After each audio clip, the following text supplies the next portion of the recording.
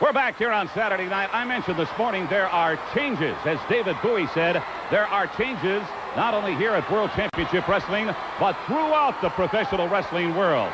You've probably heard some rumblings.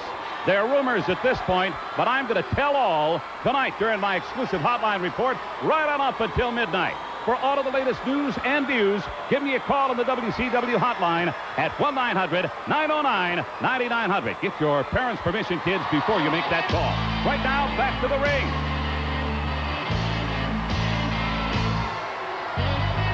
Don't forget tomorrow, the live main event at 6.05 Eastern Time. As Johnny B. Badd makes his way to the ring. And your backstage pass with inside interviews and information will be the hotline live tomorrow during the Bash at the Beach, sponsored by Slim Jims. Well, if you think California, Southern California is hot, you don't have any idea the heat that's going to be coming out of Southern California at bell time tomorrow night.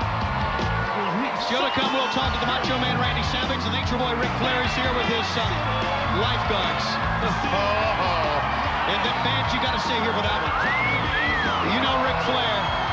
going to be quite a sight. he's outdone himself.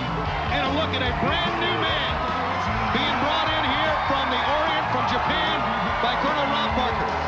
Well, oh, what's his name, Schiavone? Just wait and see, Bracy. You don't, you have no idea who this guy is. I, I know exactly who he is. Forget it. Tell me and I'll tell you if you're right. Want to remind the fans that coming up in a couple of weeks, the Great American Bash on Tour continues. We will be in Charlotte, North Carolina, Independence Arena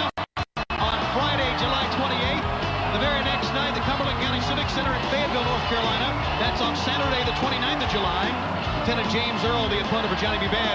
And the Great American Bash on Tour makes a stop in Greenville, South Carolina at the Coliseum. And that's all on Sunday, the 30th of July. So the Great American Bash on tour here in the month of July. WCW Live. That's the best way to see it. And of course, if you want to see us live in Huntington Beach, you better get your beach chair and get out there right now. Because we understand that beach chairs are lining up. People are getting ready for the largest crowd ever to see a WCW event. It will happen at Huntington Beach, California tomorrow.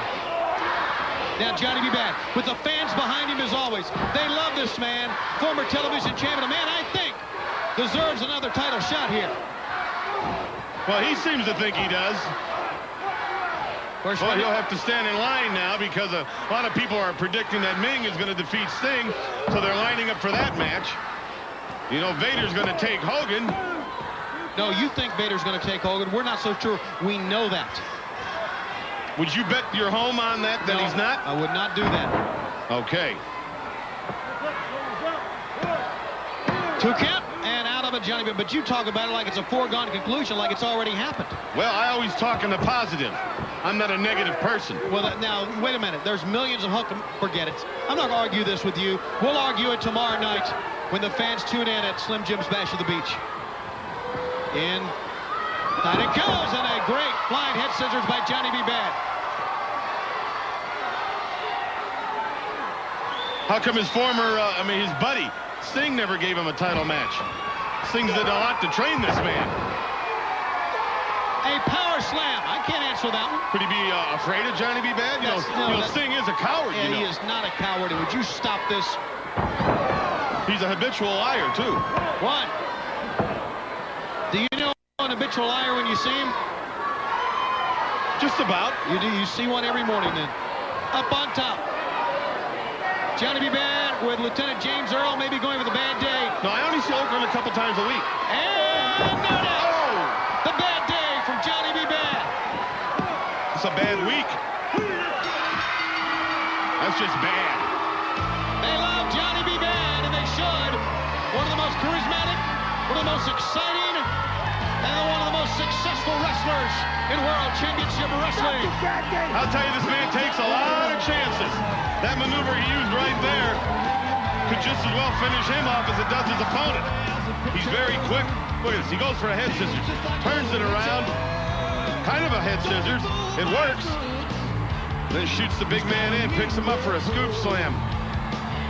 And watch this maneuver off the top rope. Oh, it looks like he pile drives himself, but he winds up pile driving the man off the head scissors. You figure it out, Schiavone. Johnny B. Pan is your winner. still to come, the Nature Boy Ric Flair, the Renegade Diamond Dallas. But right now.